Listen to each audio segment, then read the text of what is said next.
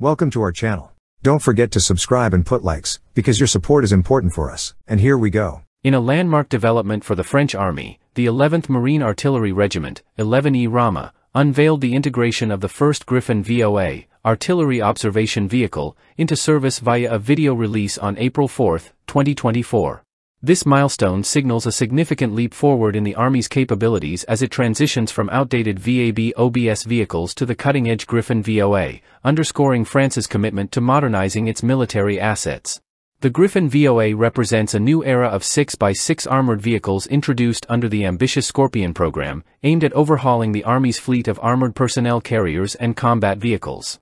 Launched in 2019, the Griffon stands out for its superior protection, mobility, and technological capabilities, heralding a paradigm shift in the French ground forces' operational efficiency across diverse missions.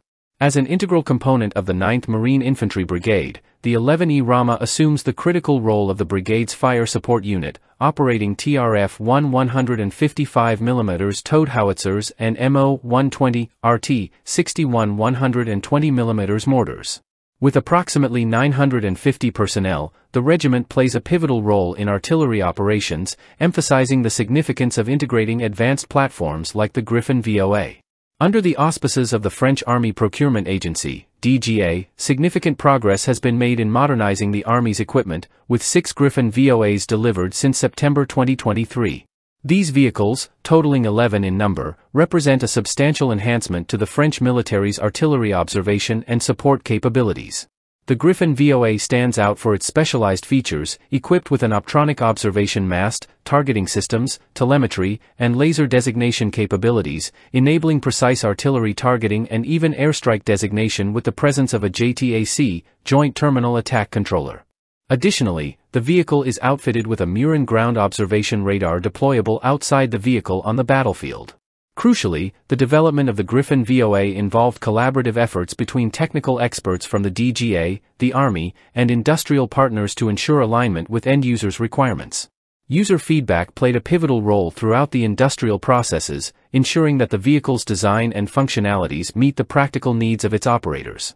The extensive six-month trial campaign, conducted with the expertise of the DGA's testing centers and the technical section of the Army, underscored the rigorous validation process undergone by the Griffon VOA. This meticulous approach ensures the vehicle's performance and reliability across diverse battlefield scenarios, reaffirming its status as a game changer in artillery observation for the French Army. In conclusion, the integration of the Griffon VOA into the French Army represents a transformative milestone, enhancing the nation's artillery observation and support capabilities with state-of-the-art technology and operational excellence. As France continues to modernize its military assets under the Scorpion program, the Griffon VOA stands as a testament to innovation and strategic foresight in meeting evolving defense challenges. That's all for now. See you later.